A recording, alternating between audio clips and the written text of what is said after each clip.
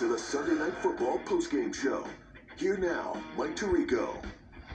A terrific game here in Pittsburgh on this Sunday night. Seattle is down 14, charged back into it, but the Steelers in overtime, 23 to 20. The big turnover forced by T.J. Watt, outstanding defensive player, as good as there is in the NFL, and he is top of the list of the players of the game. Ben Roethlisberger also 29 of 42, 29, and Najee Harris with 127 scrimmage yards. T.J. Watt with Michelle Tafoya. TJ, there are a lot of words that can be used to describe this defensive effort tonight. What words would you use? Uh, resilient. Uh, there, there were a lot of ups and downs. We felt like we performed pretty well in the first half, and then the second half, that we feel like the run kind of was was gashing us a bit. But hey, a win is a win, and I'm glad we bought up when we had to. Cam Heyward just walked by us and said, You're the best defensive player in the world. The two huge plays in overtime the sack on third down and then the strip sack really to seal things. What was your mindset in that final period? I don't know. I was just trying to make a play for the defense, and like I said, it, it's the guys up front that help make it happen. The guys in the back end with the coverage, and I mean, I have to give a lot of credit to this atmosphere. It was absolutely insane here, and shout out to Steelers Nation for that.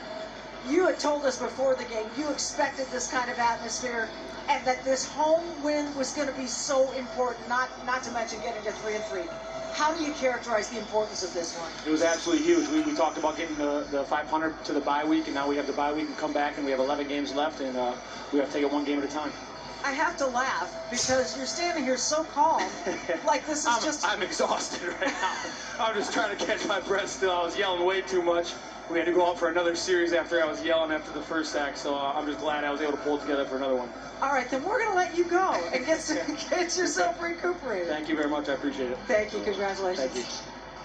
Michelle, thank you. So Heyward said you're the best defensive player in the world. Aaron Donald may have something to say about that, but those two guys have really messed up Seattle's season the last two weeks. Yeah, yeah. Donald, Russell Wilson hits his arm, breaks the finger, and then T.J. Watt breaks their hearts here tonight. Yeah, what does Mike Tomlin say? You can never have enough watts. That's exactly right. That's about right, and you could see exactly why there. It was a fantastic game, though. You know, it's amazing. This point of the season, sometimes it's those teams on the lower half.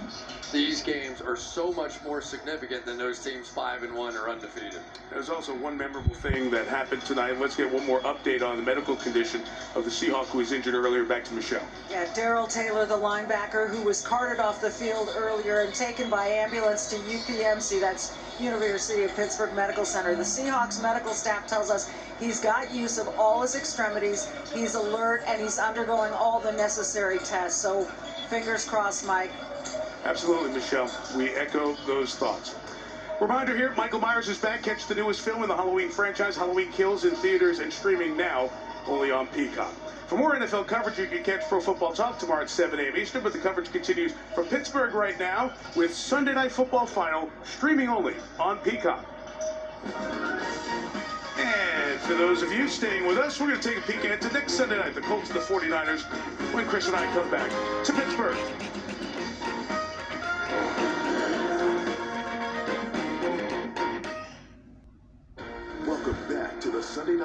Football postgame show. Here now, Mike Tirico and Chris Collinsworth. All right, so next Sunday, it's the Colts and the 49ers. Trey Lance, Jimmy Garoppolo. It's been back and forth with injuries and trying to figure who's going to be the guy long term. San Francisco won the first two, lost the last three. They were off today. What about India as they got back in the win column today? I watched them today. Jonathan Taylor was huge running the football. And Carson Wentz, I thought, was back to form. You know, after that injured foot and trying to come back, we saw the deep ball. We saw the big play along with that running game.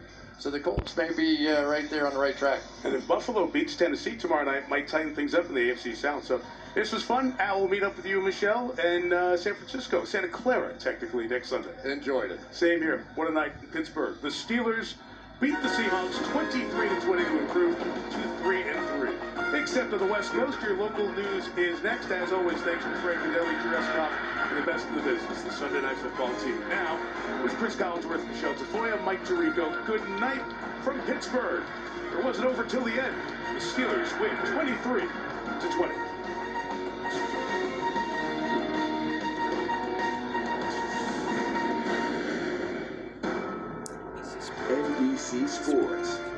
Of Super Bowl 56. thanks you for watching this presentation of the National Football League.